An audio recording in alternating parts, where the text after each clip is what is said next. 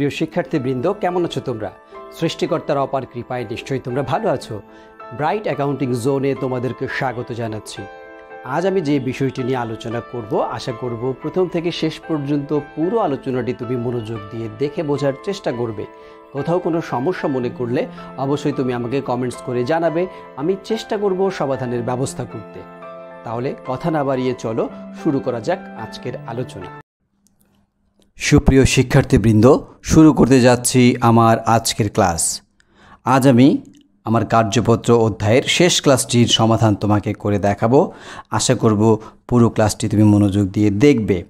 তো প্রথমেই চলো আমরা দেখে নিই উদ্দীপকের যে সকল তথ্য রয়েছে। শিমুল ট্রেডার্স দু হাজার বিশ সালের জানুয়ারি মাসের এক তারিখে একটি সেবামূলক প্রতি ব্যবসায় প্রতিষ্ঠান স্থাপন করে। চলতি হিসাবকালের একত্রিশ ডিসেম্বর তারিখে কয়েকটি সমন্বয় হিসাবভুক্তকরণের পূর্বে প্রতিষ্ঠানের রেওয়ামিলের অবস্থা ছিল নিম্নরূপ। রেওয়া মিলে ছিল একত্রিশ ডিসেম্বর দু হাজার বিশ সালে যন্ত্রপাতি, বেতন, অফিস খরচ, অগ্রিম বিমা, সেলামি বা বিমা প্রিমিয়াম, প্রাপ্য নোট, প্রাপ্য সেবা আয়, নগদ তহবিল ও ব্যাংক জমা। ক্রেডিট পাশে ছিল মূলধন, সেবা আয়, কমিশন, অবচয় সঞ্চিতি এবং সমন্বয় হিসেবে রয়েছে বিমা প্রিমিয়াম দু একুশ সালের একত্রিশ মার্চ পর্যন্ত প্রদত্ত আছে। সেবা আয় প্রদান করে এখন পর্যন্ত বিল তৈরি করা হয়নি আট হাজার পাঁচশো টাকার। যন্ত্রপাতির মাসিক অবচয় ধরা হয়েছে দুই হাজার টাকা। চার নম্বরে বলেছে, বেতন প্রদানের মাসিক পরিমাণ পাঁচ হাজার টাকা। এই ছিল মোটামুটি আমার আজকের উদ্দীপকের তথ্যগুলো। আমার বিগত অঙ্কগুলোর মতোই আজকের অঙ্কে ক নম্বরে সমন্বয় জাবেদা চেয়েছে, খ নম্বরে দশ কলাম বিশিষ্ট কার্যপত্র চেয়েছে, গ নম্বরে চেয়েছে প্রয়োজনীয় সমাপনী জাবেদা দাখিলা এবং ঘতে চেয়েছে প্রয়োজনীয় বিপরীত জাবেদা দাখিলা। এখন আমি প্রথমেই সমন্বয় জাবেদাগুলো তোমাকে প্রস্তুত করে দেখাচ্ছি। এক নম্বর সমন্বয়ে বলেছে, বিমা প্রিমিয়াম দু হাজার একুশ সালের একত্রিশ মার্চ পর্যন্ত প্রদত্ত আছে। এখন তুমি উদ্দীপকটি লক্ষ্য করো, উদ্দীপকে রয়েছে আঠারোশো টাকা বিমা প্রিমিয়াম, আর এখানে একত্রিশ মার্চ পর্যন্ত প্রদত্ত হয়েছে। তাহলে একুশ সালে একত্রিশ পর্যন্ত যদি দেওয়া হয়ে থাকে, অবশ্যই দু হাজার বিশ সাল পর্যন্ত আমি বিমা দিয়েছি, তারপরে অতিরিক্ত জানুয়ারি, ফেব্রুয়ারি, মার্চ, এই তিন মাস একুশ সালের জন্য দিয়েছি। তো আমি বিশ সালে কিন্তু পুরো বছর দিয়ে এসেছি এবং এখানে অতিরিক্ত দিয়েছে আরও তিন মাস। তাহলে বিশ সালে যদি দিয়ে থাকি এক বছরে বারো মাসের জন্য আর একুশ সালে যদি দিয়ে থাকি তিন মাসের জন্য, তাহলে আমি টোটাল পনেরো মাসের জন্য আঠারোশো টাকা পরিশোধ করে দিয়েছি বিমা প্রিমিয়াম নামে। এখন যে কাজটি করতে হবে সেটি হচ্ছে, রেওয়া মিলে তোমার দেখো অগ্রিম বিমা প্রিমিয়াম নামে হিসাব রয়েছে। এখন যে কাজটি করতে হবে, এখান থেকে এক বছরের টাকাকে বিমা খরচ হিসেবে দেখাতে হবে। এক বছরের টাকাকে বিমা খরচ হিসেবে দেখাতে গেলে বারো মাসের টাকাকে খরচ দেখাবো, কারণ অগ্রিম যখন থাকবে রেওয়া মিলে তখন আমাকে খরচ দেখাতে হবে। যখন রেওয়া মিলে খরচ থাকবে, সবটুকু টাকাকেই আমি খরচ হিসেবে যখন পাবো, এর কিছু অংশ হয়ে যাবে অগ্রিম। তখন অগ্রিমের জাবেদা দিতে হবে। এখানে যেহেতু অগ্রিম প্রিমিয়াম প্রিমিয়াম নামেই হিসাবটি রয়েছে, তাই এখান থেকে আমাকে খরচ দেখাতে হবে বারো মাসের টাকা। তো আমি জাবেদাটি লিখব, বিমা খরচ ডেবিট বা বিমা প্রিমিয়াম ডেবিট অগ্রিম বিমা প্রিমিয়াম ক্রেডিট। এই হচ্ছে আমার প্রথম সমন্বয়ে জাবেদার সমাধান। লক্ষ্য করো তুমি, বিমা প্রিমিয়াম ডেবিট অগ্রিম বিমা প্রিমিয়াম ক্রেডিট। চোদ্দোশত পঞ্চাশ টাকা বের হয়েছে কীভাবে? আমি প্রথমে আঠারো হাজারকে এই যে আঠারো হাজার বিমা প্রিমিয়াম উদ্দীপক আঠারোশো টাকা যে বিমা প্রিমিয়াম ছিল অগ্রিম হিসেবে, এটাকে পনেরো দিয়ে ভাগ করেছি বারো দিয়ে গুণ করেছি, বারো মাসের বা এক বছরের বিমা খরচ বের হয়েছে। এই হচ্ছে আমার জাবেদা। ব্যাখ্যায় লিখেছি, অগ্রিম বিমা হতে বিমা খরচ হিসেবে সমন্বয় করা হলো। এবার যাচ্ছি আমি দ্বিতীয় সমন্বয় জাবেদা, সমন্বয়ে। সেবা প্রদান করে এখন পর্যন্ত বিল তৈরি করা হয়নি আট হাজার পাঁচশো টাকা। আমি গ্রাহকদেরকে সেবা দিয়েছি এখনও বিল তৈরি করিনি, তার মানে এর অর্থ এখনও পাইনি, ভবিষ্যতে পাবো।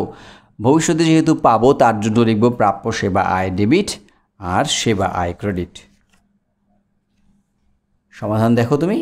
প্রাপ্য সেবা আয় ডেবিট সেবা আয় ক্রেডিট ব্যাখ্যায় লিখেছি, প্রাপ্য সেবা আয় হিসেবে সমন্বয় করা হলো। দ্বিতীয় সমন্বয় জাবেদাটিও হয়েছে। এবার যাচ্ছি আমরা তৃতীয় সমন্বয়ে। তৃতীয় সমন্বয়ে বলেছে, যন্ত্রপাতির মাসিক অবচয় হয়ে ধরা হয়েছে দু হাজার টাকা। আমি দু হাজার টাকা মাসে ধরেছি, অঙ্কটি তো হয় বছরের জন্য। তাহলে বারো মাসে অবচয় কত? চব্বিশ হাজার টাকা হবে। প্রতি মাসে দু হাজার হলে বারো মাসে চব্বিশ হাজার জাবেদাটি হবে। অবচয় ডেবিট অবচয় সঞ্চিতি ক্রেডিট, বারো হাজার টাকা হবে। এভাবে আমাকে অবচয় ধার্য করতে হবে। তো লক্ষ্য করো, আমি সম্বন্ধ জাবেদাটি কী লিখেছি? এই যে অবচয় ডেবিট, পুঞ্জীভূত অবচয় ক্রেডিট অথবা অবচয় সঞ্চিতি ক্রেডিট, দুটোই রাইট। তবে লক্ষ্য রাখব, উদ্দীপকে যদি কোনো রেফারেন্স থেকে থাকে, দেখো এখানে রেফারেন্স রয়েছে অবচয় সঞ্চিতি। আমি এখানে লিখেছি পঞ্জীভূত অবচয়। কাজটি মোটেও সঠিক নয়। অবশ্যই প্রশ্নকর্তার প্রতি শ্রদ্ধা রেখে আমাকে প্রশ্নের যে নামটি উদ্দীপকে উপস্থাপন করা হয়েছে, অবচয় সঞ্চিতি আমাকে সমাধানেও অবচয় সঞ্চিতি লিখতে হবে। সো আমি পুঞ্জীভূত অবচয় লিখব না, আমি ভুলে লিখেছি, কেটে দিব, লিখলেও কেটে দিয়ে প্রশ্নকর্তার প্রতি শ্রদ্ধা রাখতে হবে অবচয় সঞ্চিতি লিখতে হবে। এটা হচ্ছে সঠিক। ব্যাখ্যায় লিখেছি যন্ত্রপাতির বার্ষিক অবচয় হিসেবে সমন্বয় করা হলো। লাস্ট সমন্বয়ে বলেছে, বেতন প্রদানের মাসিক হার পাঁচ হাজার টাকা। বেতন প্রদানের মাসিক হার যদি পাঁচ হাজার টাকা হয়, তাহলে বারো মাসে কত হবে? ষাট হাজার টাকা হবে। কিন্তু বেতন দেখো দেওয়া আছে বাষট্টি হাজার টাকা। বেশি দিয়েছি। প্রতি মাসে পাঁচ হাজার হলে এক বছরে বারো মাসে ষাট হাজার টাকা হয়। ষাট হাজার টাকা বেতনের মধ্যে আমি কিন্তু দিয়ে দিয়েছি বাষট্টি হাজার টাকা। দু হাজার টাকা বেশি দিয়েছি। এই দু হাজার টাকা বেশি দেওয়ার কারণে এটা হয়েছে অগ্রিম বেতন। সো আমার সমন্বয় জাবেদাটি হবে দু হাজার টাকার জন্য অগ্রিম বেতন ডেবিট, বেতন ক্রেডিট। সমাধানটি তোমরা লক্ষ্য করো। এই যে আমি এখানে দিয়েছি, অগ্রিম বেতন ডেবিট, বেতন ক্রেডিট। ব্যাখ্যায় লিখেছে অগ্রিম প্রদত্ত বেতন হিসাবের বইতে সমন্বয় করা হলো। টাকাটি কীভাবে পেয়েছি? রেওয়া মিলে বেতন দেওয়া ছিল বাষট্টি হাজার আর আমার আসলে এক বছরে হয় পাঁচ, বারো, ষাট হাজার টাকা। ষাট হাজার, এই যে বাষট্টি হাজার থেকে ষাট হাজার বাদ দিলে অগ্রিম হয় দু হাজার টাকা। এই দু হাজার টাকাই আমি আসলে এখানে লিখেছি। এভাবেই আমার আজকের অঙ্কের সমাধানটি সমন্বয় জাবেদা এভাবেই সমাধান করতে হচ্ছে। এখন যাচ্ছি আমি পরবর্তী প্রশ্নের সমাধানে, যেখানে চেয়েছে দশ কলাম বিশিষ্ট কার্যপত্র। আমার প্রথম কাজ হচ্ছে আমার উদ্দীপক দেখে দেখে রেওয়া মিলটি কার্যপত্র ছকে তুলে নেওয়া। আমি সেই কাজটি ইতিমধ্যেই করে ফেলেছি। শিক্ষার্থীবৃন্দ, উদ্দীপক দেখে দেখে আমি রেওয়া মিলটি কার্যপত্রের ছকে তুলে নিয়েছি। এখানে আমি যা যা তোলার তুলে নিয়েছি। এখন আমি সমন্বয় জাবেদা থেকে এই সমন্বয়ের কলামটিকে ফিল আপ করব, এক এক করে। তো তুমি ভালো মতো বিষয়টি লক্ষ্য করো, কীভাবে আমি সমাধানটি করছি। প্রথম সমন্বয় জাবেদাটি ছিল আমার। আমি তোমাকে দেখাচ্ছি সমাধানটি। এই যে। বিমা প্রিমিয়াম ডেবিট অগ্রিম বিমা প্রিমিয়াম ক্রেডিট। আমার কার্যপত্রে কিন্তু রেওয়া মিলের মধ্যে দেখো, অগ্রিম বিমা নামে হিসাবটি ছিল। তাহলে এটা ছিল কোথায়? ডেবিট দিকে ছিল আঠারোশো টাকা। আমাকে কিন্তু এই আঠারোশো টাকা থেকে চোদ্দোশো পঞ্চল্লিশ টাকাকে ক্রেডিট করতে হবে। আর বিমা প্রিমিয়াম নামে কোনো হিসাব এই অঙ্কে নেই, তাই আমাকে বিমা প্রিমিয়াম ডেবিট করতে হবে। সো আমি এখন বিমা প্রিমিয়ামকে ডেবিট করব।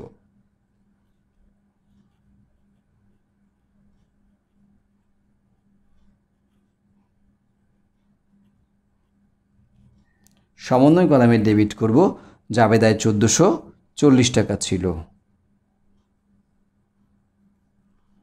আর অগ্রিম বিমা থেকে এটি কমে যাবে ক্রেডিট পাশে চলে যাবে।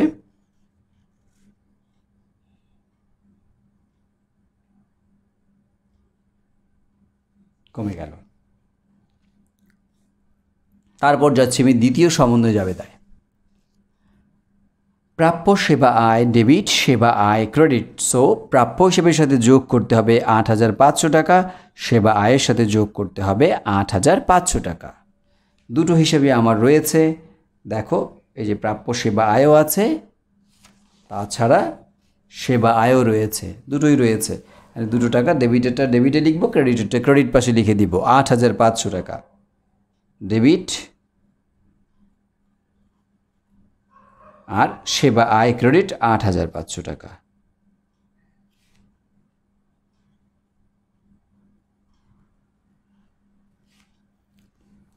এরপর যাচ্ছি থার্ড সমন্বয় জাবেদায়। অবচয় ডেবিট অবচয় সঞ্চিতি ক্রেডিট আমার কিন্তু অবচয় সঞ্চিতি আগে থেকে ছিল। আমি আবার জাবেদার মাধ্যমে অবচয় সঞ্চিতি সৃষ্টি করতে পেরেছি। চব্বিশ হাজার টাকা। এই চব্বিশ হাজার টাকা আমরা লিখব ক্রেডিট পাশেই। তবে অবচয় নামে এই অঙ্কে কোনো হিসাব না থাকায় আমাকে অবচয় নামটি লিখতে হবে ডেবিট দিকে। সো অবচয় ডেবিট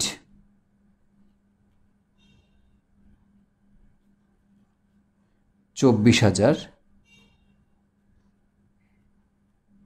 আর অবচয় সঞ্চিতি হবে ক্রেডিট চব্বিশ হাজার।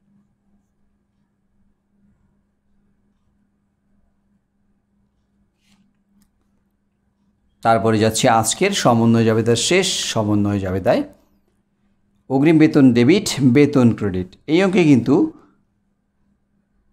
বেতন নামে হিসেব রয়েছে, অগ্রিম বেতন নামে হিসেব নেই। তাই অগ্রিম বেতনটাকে ডেবিট করব দু হাজার আর বেতনকে করব ক্রেডিট দু হাজার লক্ষ্য করো তুমি, এই অগ্রিম বেতন, ক্রেডিট আর বেতন ডেবিট হবে। বেতন ডেবিট হবে দু হাজার আর অগ্রিম বেতন কমে যাবে, অগ্রিম বেতন হবে ক্রেডিট।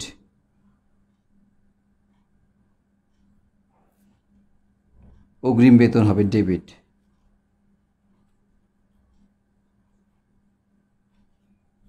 আসলে এটি হবে অগ্রিম বেতন। আমি বেতন অগ্রিম লিখে ফেলেছি, এটা হবে অগ্রিম বেতন ডেবিট আর বেতন ক্রেডিট হবে দু হাজার।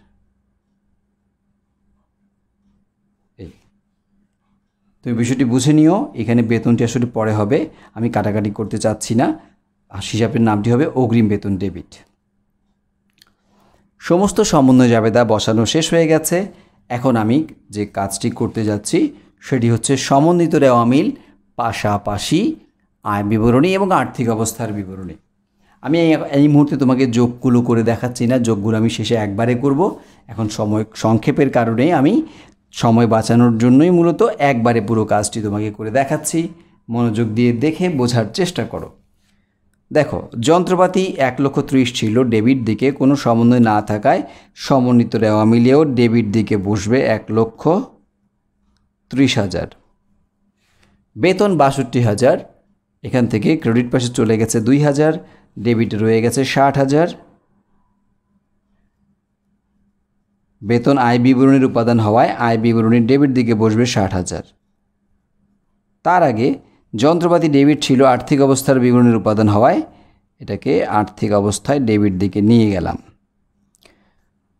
অফিস খরচ এক লক্ষ আঠারো হাজার টাকা। এর সাথে কোনো সমন্বয় ছিল না, সো সমন্বিত রেওয়া মিলে সরাসরি চলে যাবে এক লক্ষ আঠারো হাজার।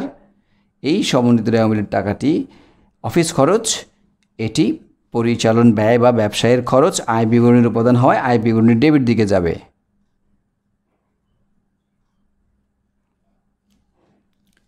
আঠারোশো টাকা অগ্রিম বিমা ছিল, এখান থেকে ক্রেডিট হয়ে গেছে চোদ্দোশো চল্লিশ টাকা। আঠারোশো থেকে চোদ্দোশো চল্লিশ চলে গেলে থাকে তিনশো ষাট টাকা। এটা তিনশো ষাট টাকা হবে ডেবিট। প্রাপ্য নোট দু হাজার দুশো টাকা ডেবিট ছিল, কোনো সমন্বয় না থাকাতে সমন্বিত রেওয়া মিলেও এটি ডেবিট পাশে বসবে দু হাজার দুশো টাকা।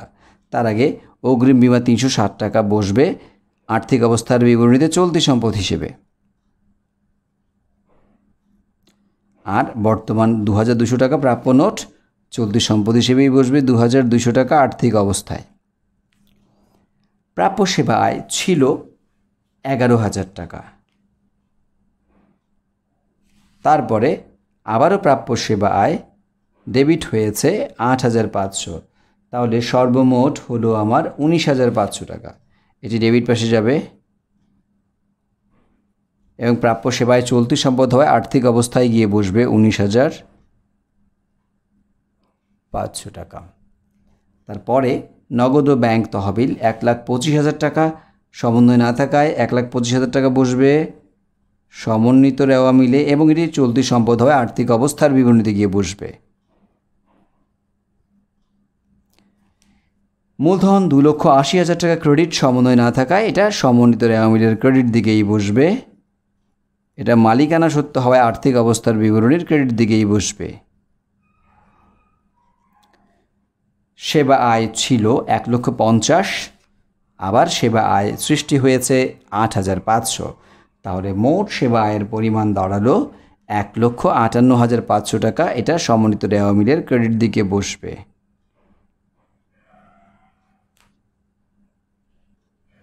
বসালাম। এটা আয় বিবরণীর উপাদান হয়, আয় বিবরণীতে ক্রেডিট পাশে বসবে। তারপরে যাচ্ছি আমরা কমিশনে। কমিশন ক্রেডিট, এটা আয় হিসেবে বসছে। তাই সমন্বয় না থাকা, এটা সমন্বিত রেওয়া মিলে গিয়ে বসবে আট হাজার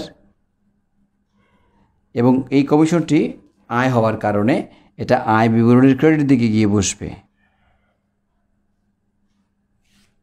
তারপরে অবচয় সঞ্চিতি আগেই ছিল রেওয়া মিলে বারো হাজার, নতুন করে সমন্বয়ের মাধ্যমে সৃষ্টি হয়েছে চব্বিশ হাজার, তাহলে বারো আর চব্বিশে হচ্ছে ছত্রিশ হাজার টাকা সমন্বিত রেওয়া মিলের ক্রেডিট পাশে বসবে। এটি আর্থিক অবস্থার বিবরণীর উপাদান হওয়ায় এটা আরেকবার আর্থিক অবস্থায় চলে যাবে। বিমা প্রিমিয়াম সমন্বয়ের মাধ্যমে সৃষ্টি হয়েছে চোদ্দোশো চল্লিশ টাকা ডেবিট। সমন্বিত রেওয়া মিলেও বসবে এটা চোদ্দোশো চল্লিশ টাকা ডেবিট। এবং এটা আয় বিবরণীর উপাদান, খরচ হওয়া এটা আয় বিবরণীর ডেবিট দিকে বসবে চোদ্দোশো চল্লিশ টাকা। অবচয়। অবচয় চব্বিশ হাজার টাকার ডেবিট পাশে বসেছে সমন্বয়ের মাধ্যমে। এটা সমন্বিত রেওয়া মিলেরও ডেবিট দিকেই বসবে চব্বিশ হাজার। এবং অবচয়। প্রতিষ্ঠানের জন্য একটি নিয়মিত ব্যয় হওয়ার কারণে এটি আয় বিবরণীরও ডেবিট পাশে বসবে। তারপরে যাচ্ছি অগ্রিম বেতন দুই হাজার টাকা। অগ্রিম বেতন ডেবিট সমন্বয়ের মাধ্যমে সৃষ্টি হয়েছে। দু হাজার টাকা অগ্রিম বেতন, এটা সমন্বিত রেওয়া মিলেরও ডেবিট দিকে বসবে এবং এটা চলতি সম্পদ হওয়ায় আর্থিক অবস্থার বিবরণীরও ডেবিট দিকে গিয়ে বসবে।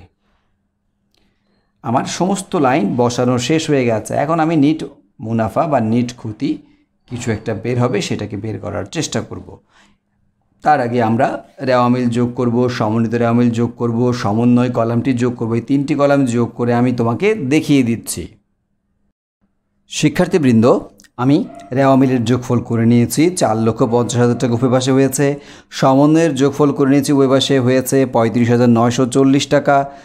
সমন্বিত রেওয়ামিলের যোগফল করে নিয়েছি চার লক্ষ বিরাশি হাজার পাঁচশো টাকা হয়েছে উভয় পাশে। এখন আমি করব আয় বিবরণী। আমি দেখতে পাচ্ছি আমার আয় পাশে এক লক্ষ আটান্ন হাজার পাঁচশো আর আট হাজার আছে, আর এখানে আছে এক লক্ষ আঠারো, ষাট হাজার, চব্বিশ হাজার, এক লক্ষ চল সরি চোদ্দোশো চল্লিশ টাকা।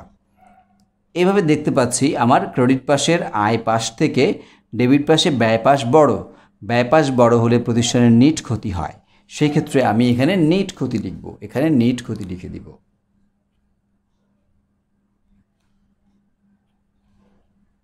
প্রতিষ্ঠানের নিট ক্ষতি হবে। তো নিট ক্ষতি লিখেছি আমি।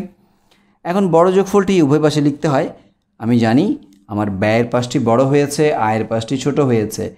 ব্যয়ের পাশে ষাট হাজার, এক লক্ষ আঠারো, চোদ্দোশো চল্লিশ আর হচ্ছে চব্বিশ হাজার। মিলিয়ে হয় দুই লক্ষ তিন হাজার চারশো চল্লিশ টাকা। দুই লক্ষ তিন হাজার চারশো চল্লিশ। এটা উভয় পাশে লিখে নিব। দুই লক্ষ তিন হাজার চারশো চল্লিশ। লিখলাম, এখন এই ব্যয়ের ডেবিট পাশের যোগফল বা ব্যয় পাশ থেকে আয় পাশ বাদ দিলে পরে আমার টাকার পরিমাণ হয় ছত্রিশ হাজার নয়শত ষাট টাকা পার্থক্য। ছত্রিশ হাজার নয়শত চল্লিশ টাকা। ক্রেডিট পাশে লিখব। ছত্রিশ হাজার নয়শত চল্লিশ। এটা হচ্ছে নিট ক্ষতি। এটাকে আবার মূলধন থেকে বাদ দিতে হবে। নিট ক্ষতি হলে মূলধন থেকে বাদ দিতে হয়, তাই এটা আর্থিক অবস্থার বিবরণী ডেবিট দিকে বসবে। ছত্রিশ হাজার নয়শত চল্লিশ টাকা। এখন আমি এ পাশটি যোগ করে দেখব, এ পাশটি যোগ করে দেখব দ্যাট মিনস আর্থিক অবস্থার বিবরণীর উভয় পাশ যোগ করে দেখব। যদি দুই পাশের যোগফল মিলে যায়, আমি ধরে নিব আমার অঙ্কটি সঠিক হয়েছে। শিক্ষার্থীবৃন্দ, আমি উভয় পাশের যোগফল আর্থিক অবস্থায় করে নিয়েছি।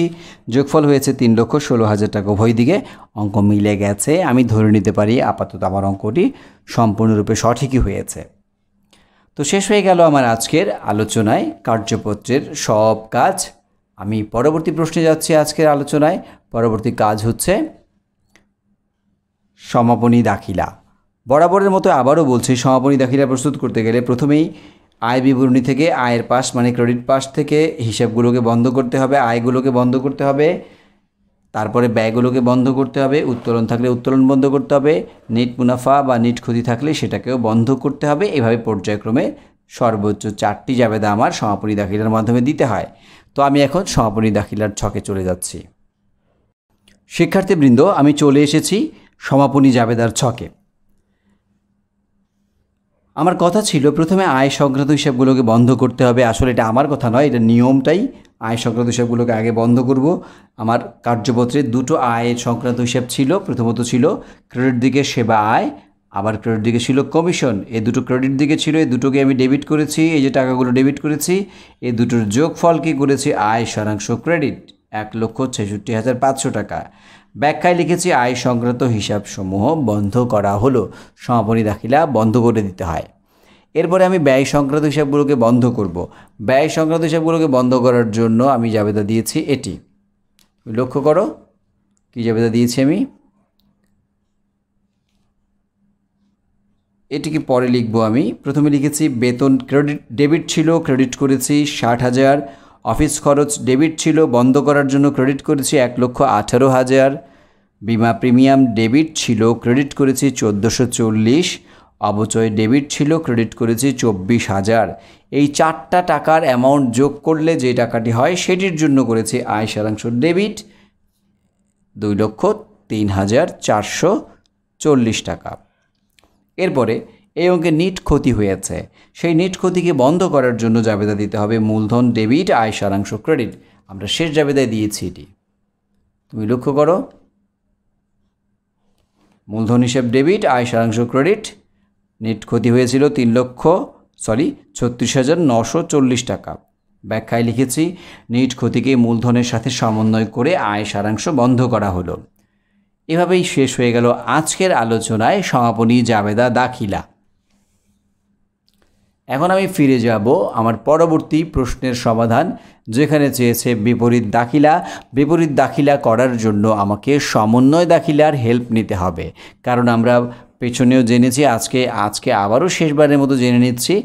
বিপরীত দাখিলা প্রস্তুত করতে গেলে সমন্বয় দাখিলার হেল্প লাগে। সেই সমন্বয় দাখিলা জাবেদায় যদি আমি অগ্রিম বা বকেয়া নামে কোনো হিসাব সৃষ্টি করতে পারি, সেটার জন্যই মূলত বিপরীত জাবেদা দাখিলা দিতে হয়। তো কথা না বাড়িয়ে চলো, আমরা চলে যাচ্ছি আজকের সম বিপরীত দাখিলা এবং সমন্বয় দাখিলায়।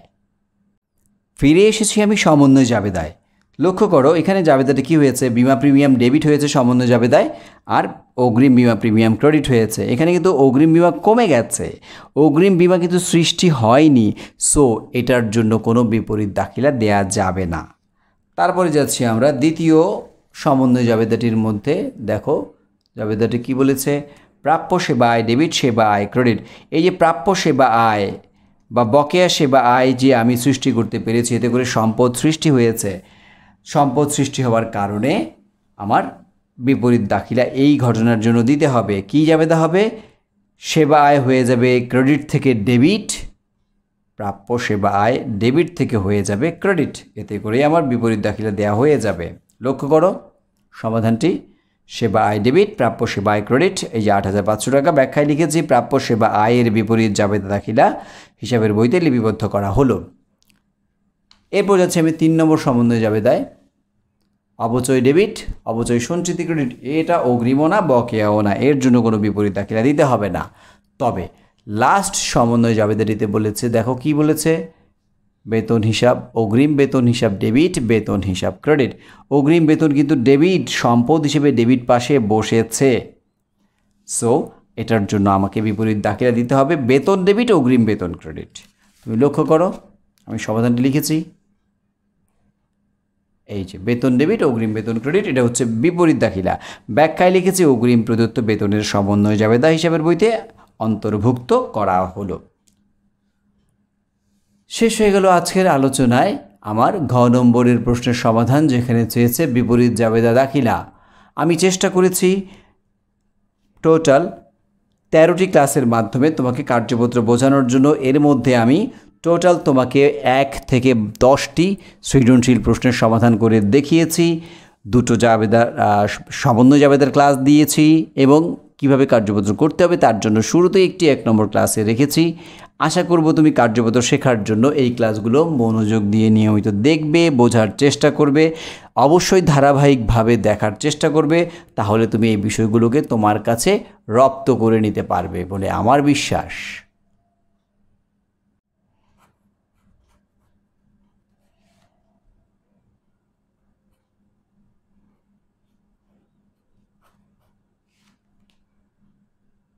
শিক্ষার্থী বন্ধুরা, আজকের আলোচনা কেমন লাগল? তুমি চাইলে কমেন্টস করে আমাকে জানাতে পারো। নতুন কোনো টপিক নিয়ে আবারও তোমাদের সামনে হাজির হব। সেই পর্যন্ত তোমরা সবাই ভালো থাকবে, সুস্থ থাকবে। তোমাদের জন্য রইল আমার আন্তরিক শুভকামনা।